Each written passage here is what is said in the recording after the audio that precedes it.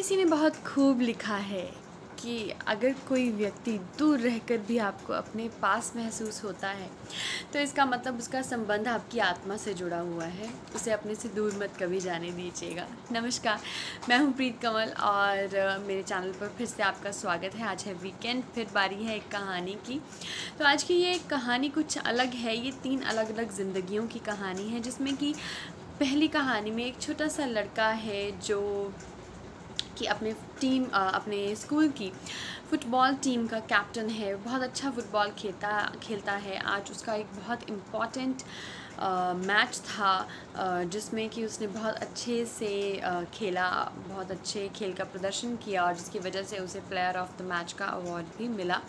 लेकिन इस सब के बावजूद, उनकी टीम के जीतने के बावजूद वो लड़का बहुत दुखी था क्योंकि उसके मामा उसके पास नहीं पहुँच पाए थे। उसके इस इंपॉर्टेंट दिन पर शी वॉज़ बिज़ी समवेयर और जिसकी वजह से वो उसके पास नहीं आ पाया। और जब उस मैच के ख़त्म होने के बाद वो उसको स्कूल से लेने के लिए उसके पास पहुँचे तो उन्होंने बहुत उससे अपॉलोजी सीख की, बहुत उसको सॉरी बोला।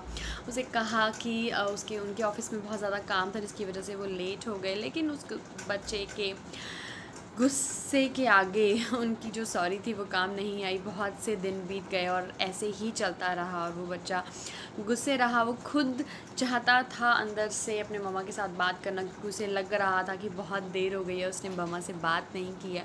लेकिन उसका गुस्सा जो था, वो उसके जो प्यार पर थोड़ा हावी हो गया था। जो दूसरी कहानी है, वो सॉरी, वो है दो दोस्तों की, जिसमें एक दोस्त ने अपनी कुछ खुशी को सेलिब्रेट करने के लिए अपने दूसरे दोस्त को डिनर पार्टी पर इनवाइट किया और, लेकिन एक या दो घंटे वेट करने के बावजूद जो दूसरा दोस्त था वो पहुँच नहीं पाया। और जब वो पहुँचा तो बहुत देर हो चुकी थी बहुत लेट हो चुका था। उसने बहुत ज़्यादा सॉरी फील किया अपने दोस्त को कि मेरी आ, जो ट्रैफ़िक थी वो बहुत ज़्यादा थी रास्ते में। तो आ, मुझे बहुत दूर से आना था ये जगह बहुत दूर थी इस वजह से मैं लेट हो गया। एम सो सॉरी लेकिन वो दूसरा दोस्त नहीं माना और वहाँ से उठकर चला गया अपने अपने घर पे चला गया वापस। और बाद में उस दोस्त ने उसे बहुत से हफ्तों तक मैसेजेस और कॉल्स किए, लेकिन उसने अपने गुस्से में उन कॉल्स को, उन मैसेजेस को रिसीव नहीं किया, उससे बात नहीं की और अपने गुस्से को कायम रखा। जो तीसरी कहानी है, वो है एक कपल की जिसमें एक फ़ियांस अपने दूसरे फ़ियांस के लिए जिनकी इंगेजमेंट हो चुकी होती है, वो दूसरे के लिए उसने प्रिपरेशन की फ्लावर्स केक वगैरह रेडी किया अपनी इंगेजमेंट एनिवर्सरी पर। पर दूसरा फ़ियांस वो भूल चुका था, उसके बारे में उसे याद ही नहीं था, वो रेडी नहीं था और इस चीज़ के लिए उसने बहुत ज़्यादा माफ़ी मांगी अपने फ्योन से कि मुझे माफ़ कर दो, मैं भूल गया, अगली बार से ऐसा नहीं होगा तुम्हारे लिए गिफ्ट शॉपिंग सब कुछ लेकर आऊँगा प्लीज़ गिव मी लेकिन बहुत से महीने बीत गए और ये गुस्सा, ये ईगो रिश्तों से ज़्यादा लोगों की लाइफ में जब मायने रखती है तो ऐसा ही होता है। उनकी बहुत ज़्यादा अपॉलोजी के बाद भी उस फ्योन्स ने उससे बात नहीं की, उसके साथ अपनी जो लाइफ थी, वो शेयर करना ज़रूरी नहीं समझा।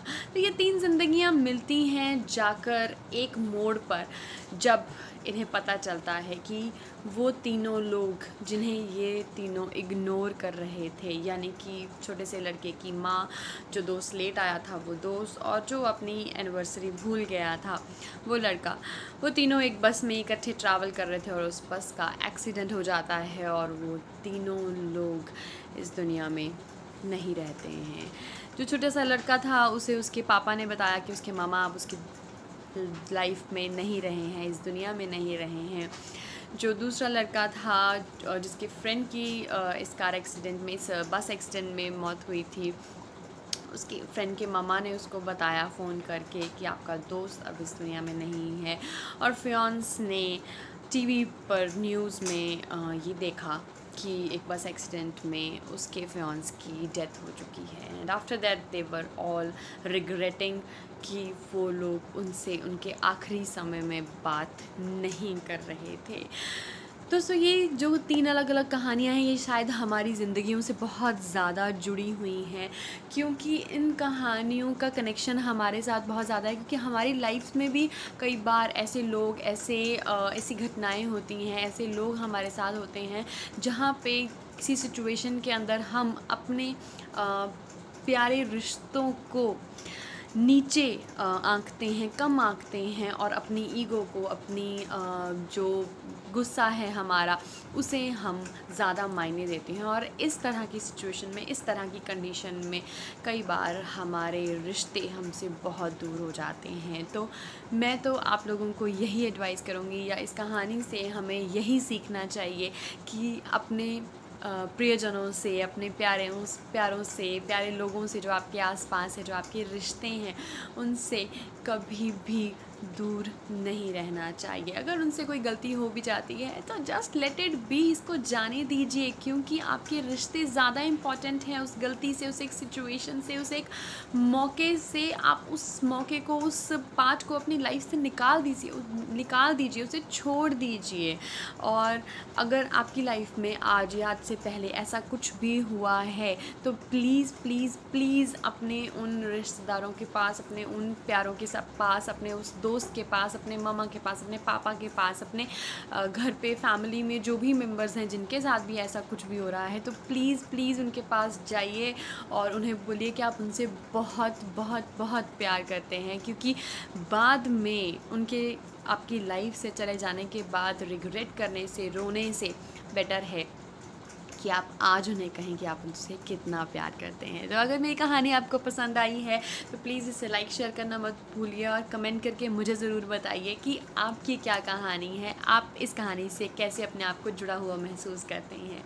अगले वीकेंड फिर से मेरे पेज पर एक नई कहानी। Thank you so much till now bye